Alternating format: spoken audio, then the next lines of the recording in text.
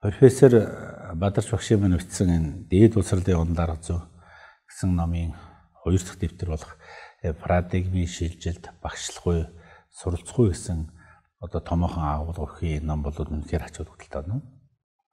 Зөвхөн ихтэй сургуулиудыг ерөнхий улсралын сургуулиуд сургуулийн өмнөх улсралын багш нар суралцагчдад, зүгээржүүл барам судлаачдад, эрдэмтдэд мөн одоо эцэг эхчүүдэд хүртэл одоо арын олоолох юм ач холбогдолтой чухал ном аа. Энэ номыг одоо бас редактлсан шүүн тунгаасан хүний хувьд бол би ингэж онцгойлж одоо бас хэлхийг хүсэж байгаа юм. Тэгэхээр парадигмын шилжилт гэдэг юм бүлэг дээр нэг л аваад үзэхэд парадигм гэж юу юм? Парадигмын шилжилт гэж юу гэлдэг юм? Энийний онол арга зүйн асуудлууд тэг бол маш наривчлан одоо бичиж өгсөн нь бол үнэхээр ач холбогдолтой зүйлсээ.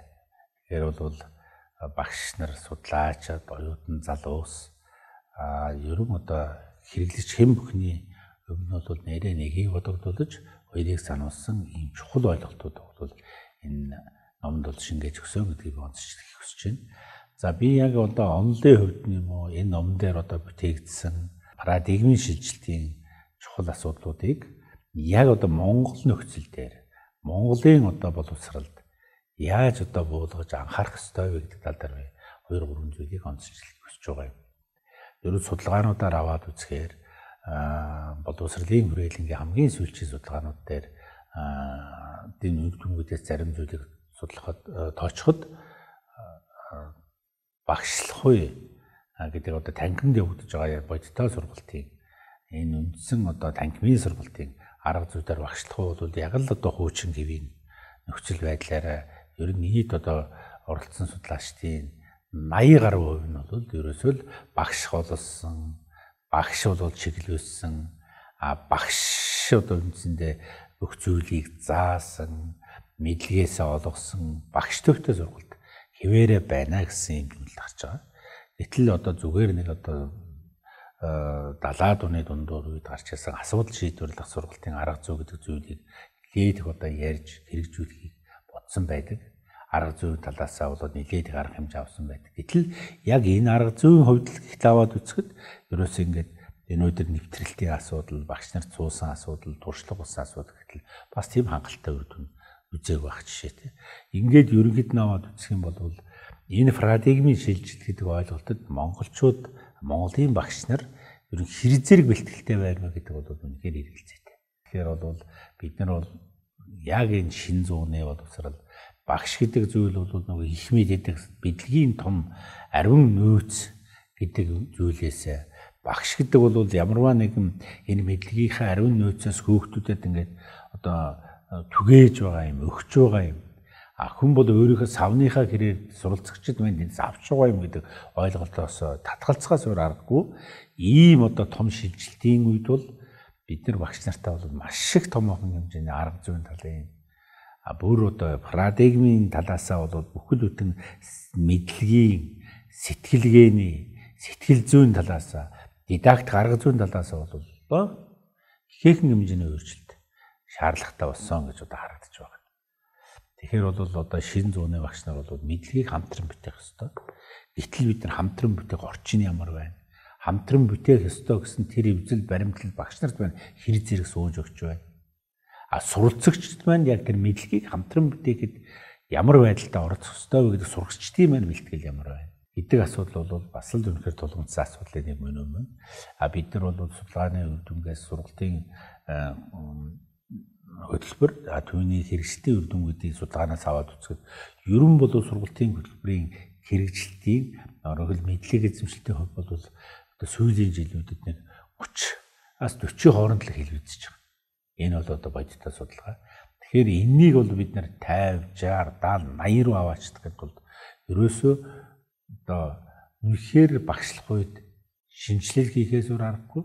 А шинжилэл хийнэ гэдэг нь бол зүгээр одоо нөгөө арга зүй талаас нь ч юм уу одоо гэдэг өнцгөөсөө илүүтэй шин зууны агуулгаар тийм боловсралд бол маш парадигмын шилжилтүүд явагдаж байна. Мэдээллийн технологи, үзэл баримтлал, мэдлэгийн тухай ойлголтууд а тэрний хэрэглэх тухай ойлголтууд хуучин бол бид нэр мэдлэг өндөрт дипломтой хүн бол энэ амьдралын хамгийн чухал хүн гэж үздэг бас тэр өөрчлөлтүүд маш өөр болсон.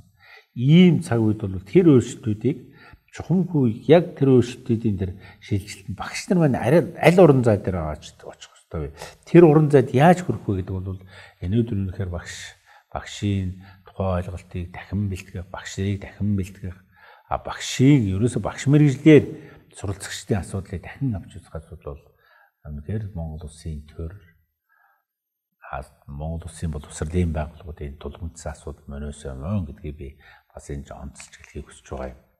А нөгөө талаас суралцагчдын тухай ойлголт байж байна.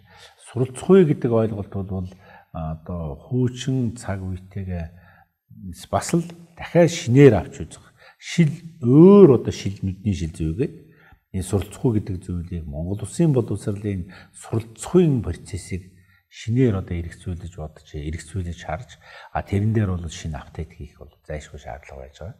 Тэгэхээр бид нэг ангид одоо 35-аас 50 60 хүүхэдтэй тэр хүүхдүүдэд тухайн нэг судлагдхууны мэдлэгийг тэр багш яаж өгөх вэ? Яаж шинээр мэдлэг бүтээх вэ? гэдэг ойлголт бол үнэхээр одоо асуултын нэмдэгтэй гэж ойлгох хэрэгтэй. А гэтэл шинэ одоо 100-ны энэ суралцгүй гэдэг бол анги танхимын тухай ойлголтыг дахин авч үзэхээс өөр аргагүй. А тэрнээс барах үйл барам насан туршийн боловсрал, бие дааж суралцах боловсрал, гуйтаагүй арга зүйн тухай ойлголтыг яг одоо педагог арга зүйтэй яаж зохицуулж зохион байгуулах вэ гэдгийг бол дидактч дидактичдийн сурган заах арга зүйчдийн өмнөд бол бас л тулгымцсан асуулт гэвэр. Тэгээд нөгөө суралцагчид маань өөр өөрийн хэрэгцээтэй, өөр өөрийн одоо сэтгэхүйтэй, өөр өөрийн одоо сэтгэл зүйн онцлогтой, өөр өөрийн арга зүйтэй тэр арга зүйд нь өөр өөрийн хэрэгцээтэй тэр суралцагчдыг энэ өдөр бид нэр авчирч одоо энэ ангийн ойлголтоор ч юм уу одоо сургуулийн бол энэ сонгодог загвараар бэлтгэнэ гэдэг бол бас 21 дугаар зуунд үнэхээр бас арталтай асуултын нэмлэгтэй байгаа юм. Тэгэхээр ингээд бүхэн том өнцгөр наваад үзэх юм бол үнэхээр бол дэлхийд дахин хүн төрөлхтний юм дэлхийн дэвшилтэд одоо боловсролын юмнууд бол том парадигмын шилжилтүүд явагдаж байхад монголчууд одоо бид нэр ямар нэгэн хоцрогдож болохгүй тэрний дагалж орохоос өөр аргагүй гэхдээ яаж одоо хөвчийн аргаар шууд одоо зохион байгуулж орох вэ гэдэг бол бид нар үнэхээр урлаг авьяас энэ үйл ажиллагааг зохион байгуулж байгаа бүх хүмүүсийн одоо мэдрэмж, ур чадвар, бас энэний ойлголтууд а тэгээд дээр нь менежментийн одоо арга зүй, тэгээд дээр нь мэдлэг, туршлагын одоо маш их олон зүйлсийн цогц зүйл явж болно. Тэгэхгүй бол 2000 оны үед дэлхийд ноёдож байсан Siemens утас маань энэ өдөр бол iPhone, Samsung гэдэг утсанд яаж байр сууриа тавьж өгөв. Тэрийн шиг одоо үнэхээр одоо парадигмын шилжилтэнд одоо хамгийн сүүлийн байр эзэлсэн ийм байдал хүрэх магадлал өндөр учраас энэ өдөр бидний монголчууд бидний Монголын боловсролын салбарын хүн бүхний одоо өмнө тавигдж байгаа энэ асуудлыг дахин одоо их соргог маш мэдрэмжтэй маш одоо ихийг илүү их хөлбөрлөж илүү их зүйлийг бол ойлгож ойлголтоо бол цэгцэлж байж одоо энэ рүү дайран шуурахгүй бол цаг хугацаа алдсан. Яг одоо CVC-ийн түүхийг бүтээнэ боловсролын салбарт. Ийм учраас бол бүгдээрээ урагшаа одоо нэгэн чин сэтгэлээр одоо ажиллах хэрэгтэй. Энэ бидний одоо дахин шинээр авч үзэх энэ чухал зүйлсийн онол арга зүй асуудыг бол энэ дэд боловсролын онол арга зүй гэсэн номын 2 дугаар дэвтэр буюу парадигмын шилжилт багшлахын суралцах гэсэн энэ бүтээлд маш тодорхой ойлгомжтой хэлбэрээр одоо бүтээсэн байгаа юм аа. За ингээд та бүхэн анхаарал тавьж баярлалаа.